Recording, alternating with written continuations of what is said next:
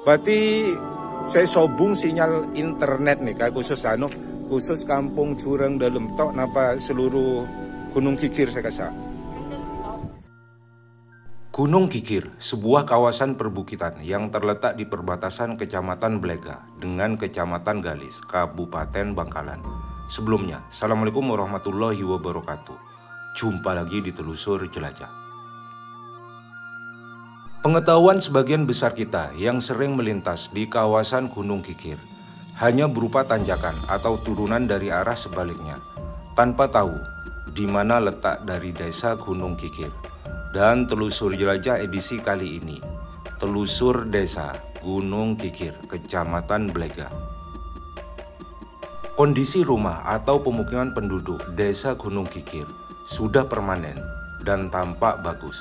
Informasi dari masyarakat, sebagian besar masyarakat Desa Gunung Kikir merupakan masyarakat perantau ke kota-kota besar seperti Jabodetabek, Bali, dan kota-kota besar di Pulau Jawa dan sebagian besar berprofesi sebagai tukang sate.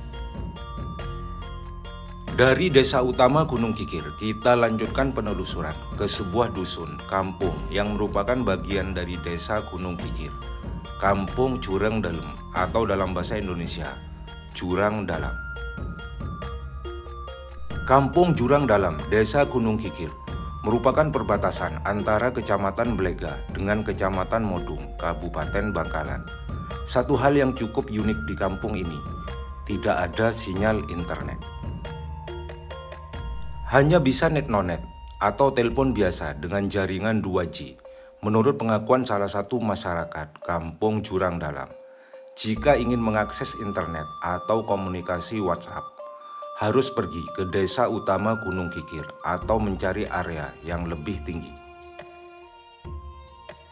Kondisi seperti ini sangat berdampak bagi masyarakat kampung Jurang Dalam, desa Gunung Kikir, terutama masyarakat perantaunya yang pulang kampung di momen Idul Adha. Tidak betah.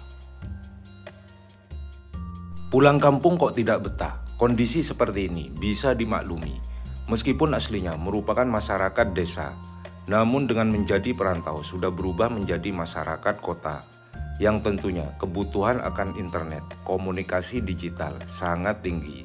Yuk ikuti perbincangan sejenak bersama warga Kampung Jurang Dalam. Di sini tidak ada sinyal internet. Nama kampungnya Kampung Jurang Dalam. Jurang Dalam, Jurang Dalam kalau dalam bahasa Indonesia letaknya memang sekilas terhalang oleh perbukitan Gunung Kikir. Sebenarnya Gunung Kikir itu bukan gunung juga. Ketinggiannya kurang lebih sekitar 300 mdpl kemungkinan ya, belum mengukur. Cuman kendala utama di kampung ini tidak ada sinyal internet. Dan nih kaki lakaran sobung sinyal internet nang kampung nih kak? Sobung.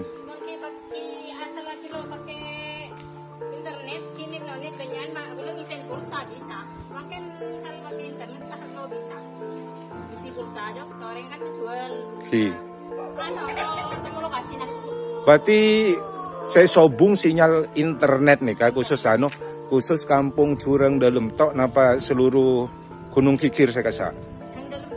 Oh khusus kampung nih kaki. Tapi kan secara desa administrasi masuk ke Gunung Kikir.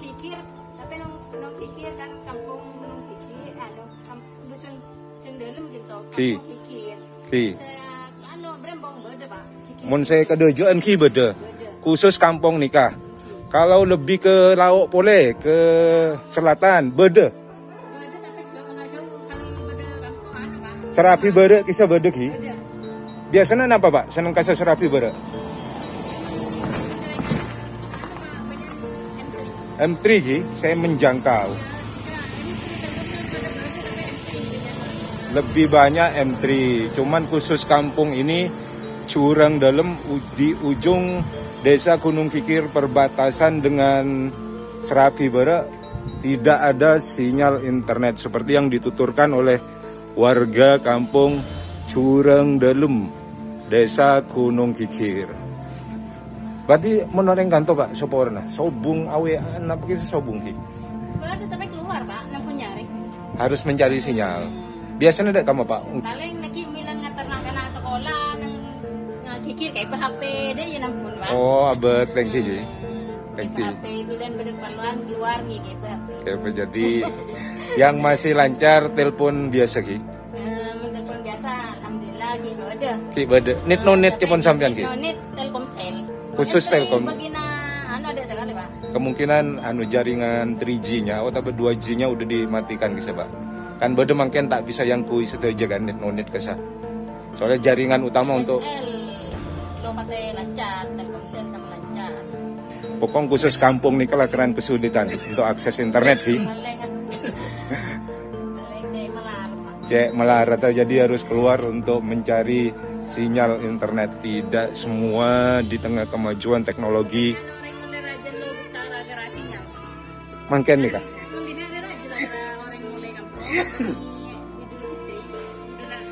Oh, kebanyakan tradisi Madura itu ketika mudik tidak di Idul Fitri tiba di Idul Adha yang bikin nggak betah Sinyal. kurang di khusus kampung curang dalam biasanya masyarakat kantor merantau dek kamu pak Jakarta. Jakartaan anu tekeng sate ki benih Ya, banyak sate. Banyakan sate ki salah satu kampung pedagang sate Madura yang tersebar di Jabodetabek maupun di kota-kota besar lainnya.